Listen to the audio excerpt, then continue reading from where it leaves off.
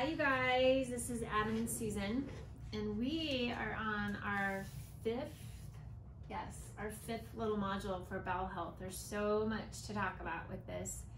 And Adam and I have decided that the next time we get together to cut a video, we're going to actually video our pre conversation and then this conversation because it feels like we have really powerful discovery sessions that like oh you gotta say that and then now we have to regurgitate it so be prepared to see that soon. But we just kind of started talking about several different um, things that would be helpful to know from both of us actually. And we kind of started out with adam talking about um, how as he's gained trunk control because i was asking well as a quadriplegic you know can you actually feel a sensation when you have to go number two or does that not happen? Is some people different? Um, and so i'm going to turn it over to him because he started to tell me how he moves different ways how it's increased his ability to have more successful bowel movements and um, so i'm just going to have you talk about that for a little bit. Okay. Um, let's see. There's definitely kind of a a rhythm to everything, and uh, over the years, I've slowly kind of learned some of the signs uh, when um, when I'm behind on my elimination cycle, and um, when when there's any reason for concern when I leave the house. Like if I do my bowel routine and maybe nothing happens, uh, which is fortunately not common at all for me anymore, but it was in the past. If nothing happens, uh, especially for me, like if I breathe and my my gut will kind of like gurgle, and I know that for me that's a sign that uh, I need to tread lightly through the day and kind of watch myself a little bit and be um, really selective of what I eat that day so that the next day when I uh, do my bowel routine, I can maximize my results because, you know, the only thing worse than not going is not going the next day also and possibly the day after that. And it can actually get pretty far out. Uh, some of you probably experienced that. Hopefully most of you haven't. But, um, you know, as soon as you get behind, the opportunity for an invol goes up, and obviously it's going to kind of be in the background of your thought process and distract you, uh, you know, in everything else you're doing. And you might have to opt out of certain activities, uh, usually the most fun ones, uh, if you know, if that's if an involuntary bowel movement is is a threat to your day. Right. Well, we were kind of talking about, you know, it's important to look at your stool as somebody that's in a chair. I mean, I think in general it is, but when being in a chair, you know, you get backed up and you you're not having the ability to move. It makes it that much harder um, to to get moving again. and so, if you're noticing, so we're talking about the properties of our stool, and um, Adam was saying how if he notices that he has a compacted, more dry stool and nothing after that, then his chances of having an involuntary bowel movement go up because you have to be able to see kind of the, the sequence of the train here. Like you have a compacted stool, stool, and then in addition to, in that same movement, you have some loose stool behind it. Then you know you're like you've you've purged that, and your gut's getting back to normal again. Yeah, if you So- if, if what you pass is soft, um, you know, not not liquidy but uh, soft, um, chances are you're kind of on schedule because that's that's something that hasn't been in there for a long time. When you get backed up, your body starts to create mucus to protect itself from toxicity uh, from those substances, and uh, so when they come out compacted. Um, you know that you're behind, probably because of dehydration, uh, but maybe because of, you know, where your intestinal flora might be and how effective it is in breaking down things. Uh, but long story short, the mucus is there to protect you to protect you from toxins, uh, which means toxins are present. And uh, the compacted stool uh, can mean several things, but it definitely means you're behind on your on your schedule. Mm-hmm. Schedule and maybe what your diet is telling you. So, um, you know, we can notice that if we have a dry compacted stool, we really should not be eating dry compacted processed foods. If we have very loose stools, we probably have too much heat in our body. Um, we could be either heavily dehydrated, and that's why we're having heat. We could be super stressed out, creating heat. Um, anger creates a lot of heat. Emotions can can definitely torment your gut and your gut is your second brain. So if you have loose stools, you need to cool your stomach down and your intestines down by maybe ingesting some, you know, nice cold coconut water or avoiding spicy foods. Um, you know, so we kind of want to train you on looking at your stool and how you might best solve the issue. So if it's super dry, you might need a little more oil in your diet and maybe some fresh olive oil on top of your salad or Sometimes I'll even just do a shot of olive oil, put some salt in there if I feel like my diet um, is too dry.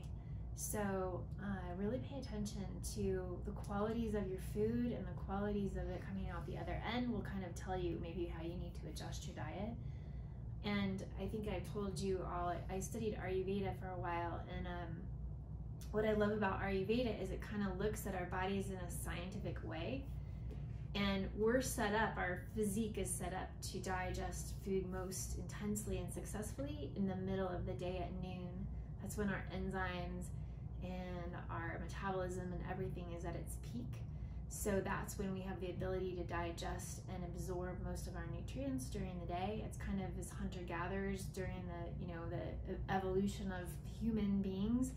Um, we slept until the sun came up and then we gathered and foraged and then we ate at noon and then we didn't eat much at night.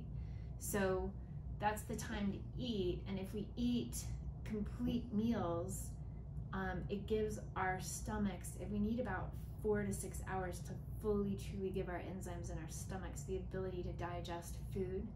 So if we're snacking all the time and layering those enzymes are starting to digest and they can't ever finish, that's actually adding layers to our intestines.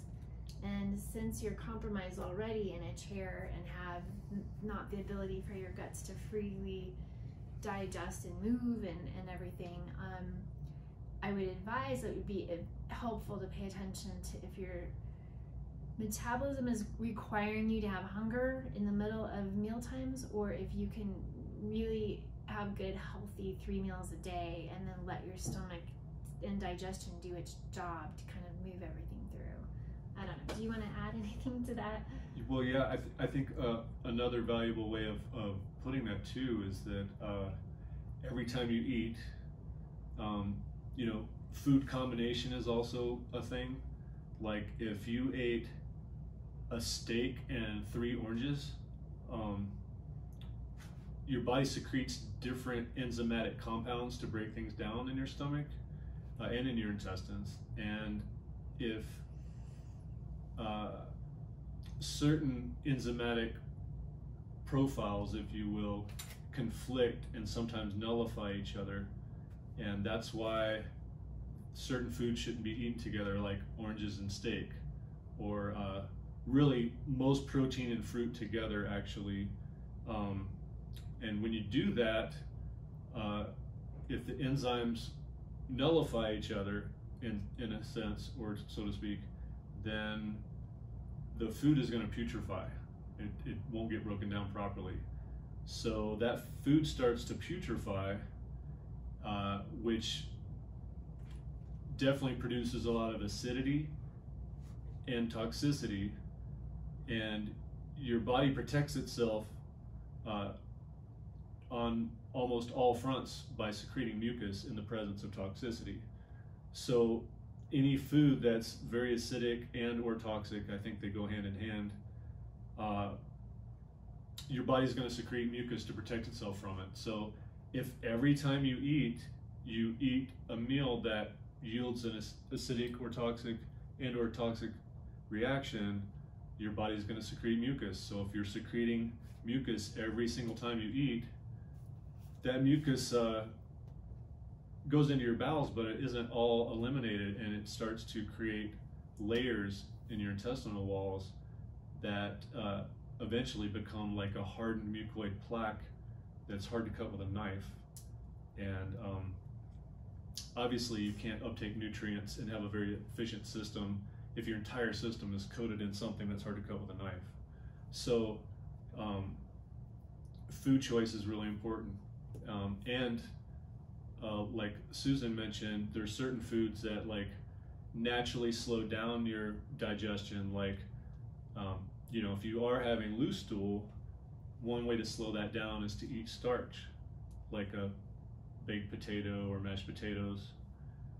But uh, if it's compacted, the last thing you want to eat is a potato, you know, and you probably don't want to eat like large portions of red meat or something that is hard for your body to break down completely so that you know if you're dried out compacted mucus present then you're going to want to eat more like sattvic foods like foods that uh, you know are live foods that uh, foods that have a lot of prebiotics actually in them and then supplementing with probiotics helps reestablish the intestinal flora so everything's robust and goes to work on whatever stuff is still lingering in your system and you know properly breaks down the food that follows it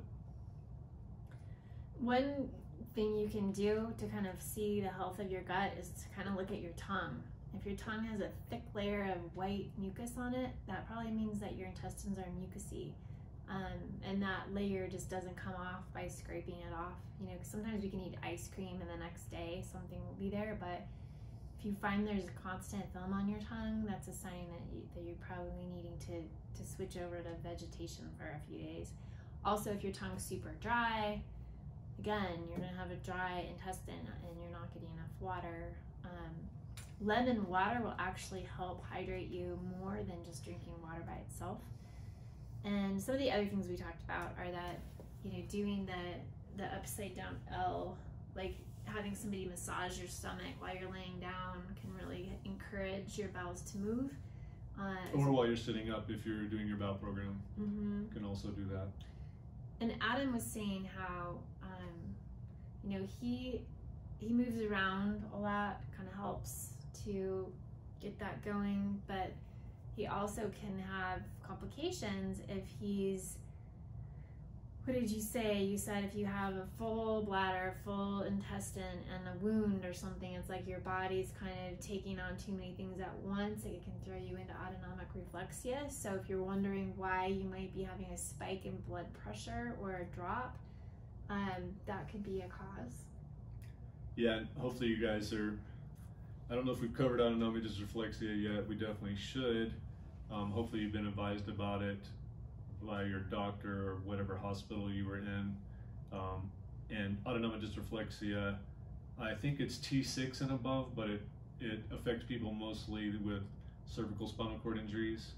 And uh, I'll just explain to Susan how if I'm having a bowel related issue and a bladder related issue, maybe a slightly clogged catheter, uh, my suprapubic catheter, and maybe I'm a little bit constipated because maybe I ate a bunch of carne asada tacos the day before and didn't follow it up enough water. Maybe I had a margarita, you know, very acidic. But uh, but um, you know, there's those cycles we go through based on what we eat, and most of us don't want a monotone diet where we um, don't explore at all with what we eat. So because of that, uh, unless we do want to eat like rabbits all the time, which definitely helps uh, for elimination. It's good to know the cycles and the indications of, you know, the ebb and flow of that cycle and and how what we eat really really has a lot of uh, bearing on that.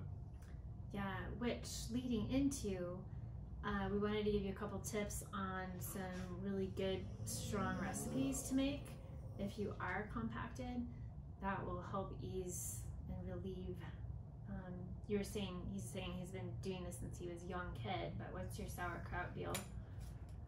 Yeah. Um, so the strongest probiotic that I've been able to find, uh, you know, whether at the store or making it on my own, um, I learned about it when I was in my late teens when I, I got really into like colon cleansing and and a lot of diet related stuff um, in my late teens.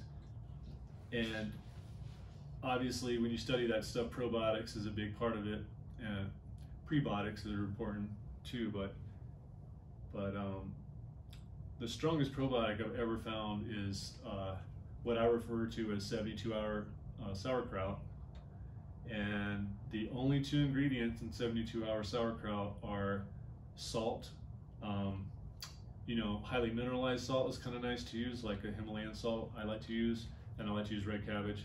But all you really need is salt and cabbage. Um, and if you have those two things, you need to masticate the cabbage as much as possible, whether it's through thousands of knife, knife slices or a food processor. I have a champion juicer that I use. I take the screen, the juice screen off so that the pulp and the juice all fall straight through.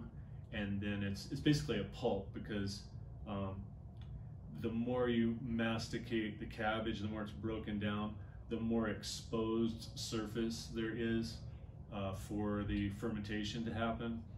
And the salt, um, the salt basically causes the fermentation, and the salinity of it keeps it from putrefying or going bad, basically. So, uh, we masticate the cabbage, add on average one tablespoon of salt, and mix it in really well. We put it in a bowl, put a cloth over that, maybe tape the cloth if, if it's not sitting tightly, just so no small little bugs or dust or anything else can accidentally get in there. And each day we take that that washcloth or towel off and stir stir the mixture really good. Otherwise, you know, oxygen is a big part of the fermentation process. So anytime you have something fermenting, it's going to ferment a lot faster on top. So that layer can ferment too quickly and go bad if you don't stir every day. So you stir the sauerkraut just once a day is fine. Stir it really well. Cover it again with the cloth, and after 72 hours, it's ready to eat and or put in the refrigerator. And in the fridge, it should last another seven to 10 days, depending on how how much you may have it outside the refrigerator in between. Um, if you freeze it, it will nullify all the probiotic effect, so that's not much of an option. But uh, in my experience, it's a lot stronger than even homemade kombucha. And uh, in terms of the potency of the probiotics, a lot um, stronger than any kimchi that I've ever had and any of the kombucha or um, probiotic drinks that I've ever found in the stores, and a dramatically, you know, higher amount than any of the capsulated forms of probiotics that I've taken.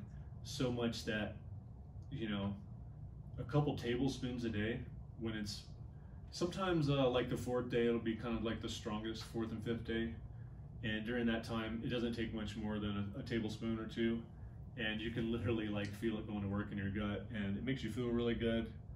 Um, and so how much all you need cabbage? is so yeah. go ahead. a all you need is a cabbage and salt. So it's just very inexpensive, very easy to make. Uh, you know, if you're someone that has hand function, um, and it's just really effective. And you can, you know, almost anywhere you travel, you'll have access to salt and cabbage, and that's good to remember too. If you're traveling and you're eating food you're not used to and subjecting your gut to different bacteria that you haven't been encountering and you know a lot of people get issues like that when they travel so i i keep uh, grapefruit seed extract and uh, apple cider vinegar and some type of probiotic on hand when i travel so that if i'm if I'm experiencing stultification of the of the bowel and things aren't moving, then I can reach for the probiotic.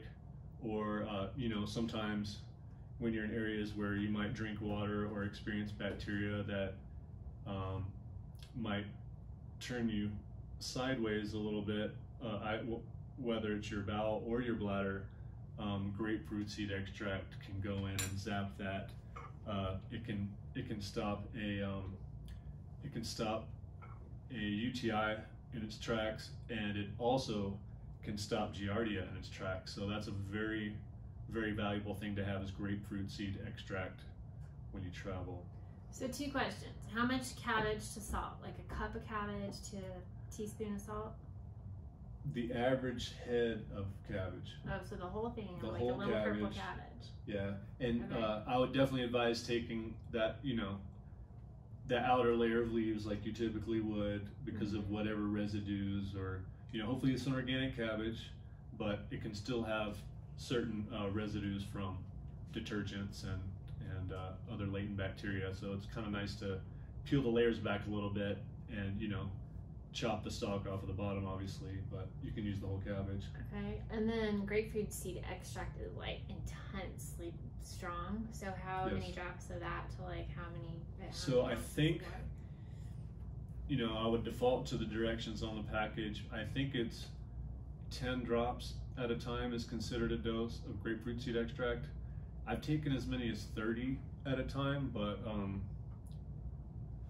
that's when I was traveling and I got Giardia, and I suffered and suffered for almost three weeks, and then uh, that's when I learned about grapefruit seed extract for the first time and someone told me I should take 30 drops, and I did, and I literally didn't need another dose of it. It got rid of Giardia in one shot. Uh, although, so 30 drops is very, very strong. So when I took 30 drops, it kind of messed with my intestinal flora. So it got rid of the Giardia, but then all of a sudden I wasn't digesting very well. So I started doing a lot of juice, prebiotic, and uh, probiotic, and building back up my intestinal flora, and then I was good to go. So. Um, a bottle of grapefruit seed extract is definitely under twenty dollars. So that's a very, very cheap and quick and effective way to get rid of some really nasty stomach bugs.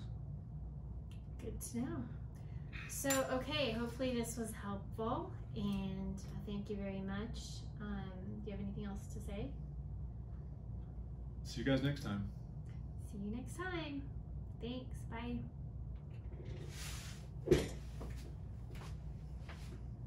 How long was that?